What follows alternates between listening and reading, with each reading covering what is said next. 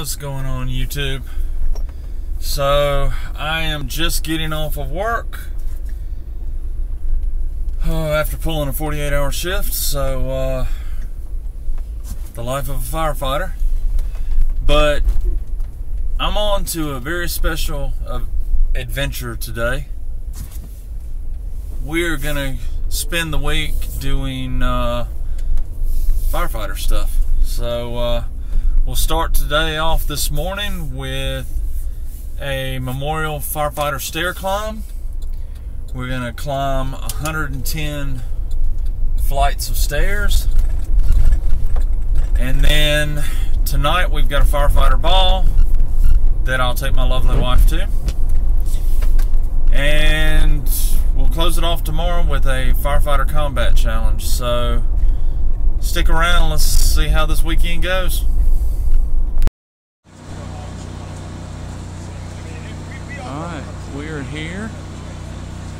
Houston County's newest Rosenbauer ladder.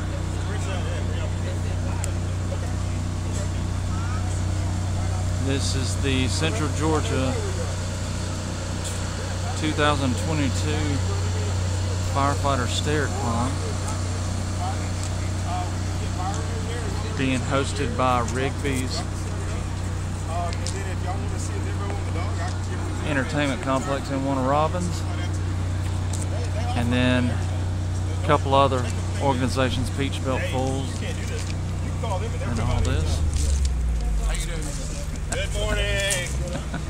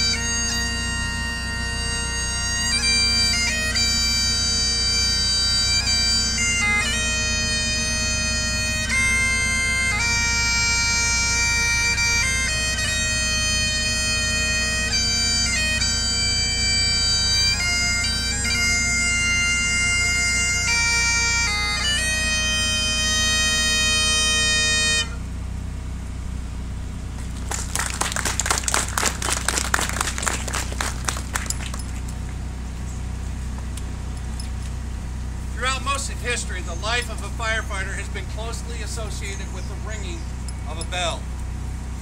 As the firefighter would begin their tour of duty, it was the bell that started the shift. Throughout the day and into the evening, each alarm was sounded by a bell. This bell called the firefighter to duty and caused them to place their life in jeopardy for the good of the public. And when the call had ended and the alarm was complete, it was the bell that rang to signal the end of the call. The final bell ceremony signifies the firefighter has completed their task. Well done. The bell is rung five times, followed by a pause. Five more times, followed by a pause. Five more times, followed by a pause. And five final times in the memory of and in tribute of the life and service the firefighter has provided. This morning, Centerville firefighter Joe Lamagna will now ring the bell in honor of all the firefighters that have lost their lives. And chaplain firefighter Bob Osler will provide a prayer.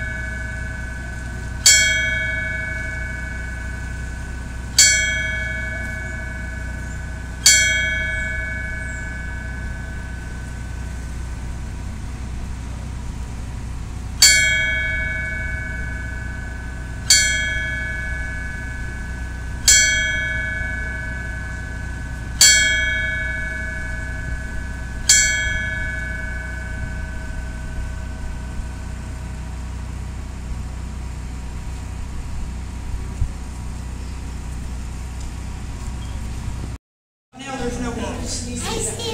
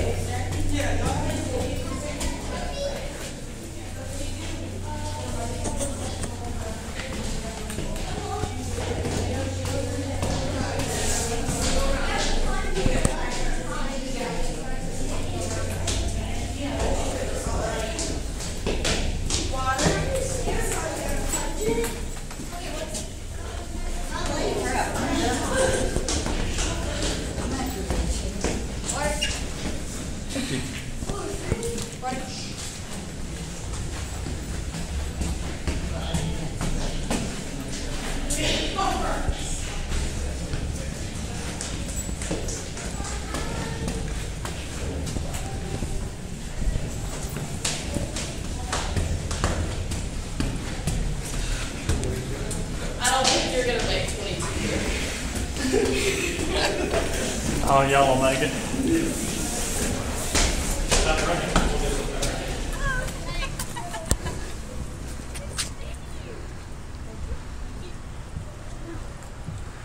Yep, that's the first lap.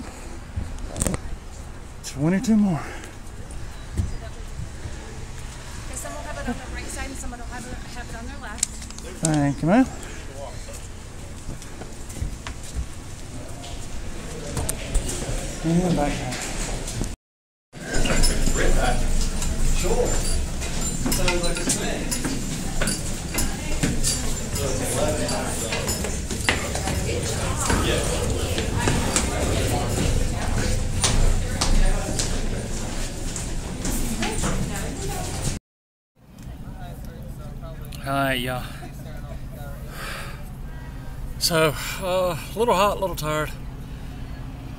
But we finished at 22 flights um, for 110.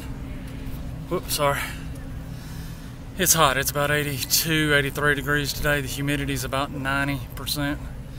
So it's warm.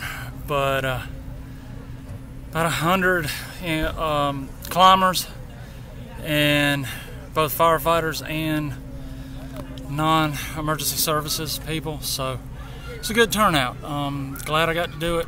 Really enjoyed it. It's time for a uh, cold beverage and a break. I'll get back with y'all in a little while. Hey everybody. So uh, it's the Monday after um, the firefighter week. Got a lot of footage, and I'm trying to break it up. I don't want to make the videos too terribly long, so I'll probably break it up into two or three sections. Um, but this first section you just watched was on the stair climb, which was Saturday morning. Um, like I said, 100 to 125 climbers, um, anywhere from firefighters to law enforcement to um, scouts to the general public, and it was great to have them come and be part of it. Uh, it's open to the public. We were welcome to have them. The significance of the 110 stories is each of the towers um, in New York City, the World Trade Center, they were 110 stories, and so that's what they, the firefighters who went in to rescue people, had to deal with was 110 flights of stairs. Um, so that's what we climb, and uh, it's a lot of work. Uh, at that hotel, you have to do 22 trips up and down um, to make the 110. So uh, it's it takes a bit of time, but we got to do it. We're happy that we got to do it, and uh, please support your local fire departments, um, sheriff's departments, police departments, and emergency services. Uh, they desperately need your support. Stay tuned, and we will get the other videos of the firefighter combat challenge and everything out as soon as I can get them put together. Thank you again. Hope you're having another great day in paradise.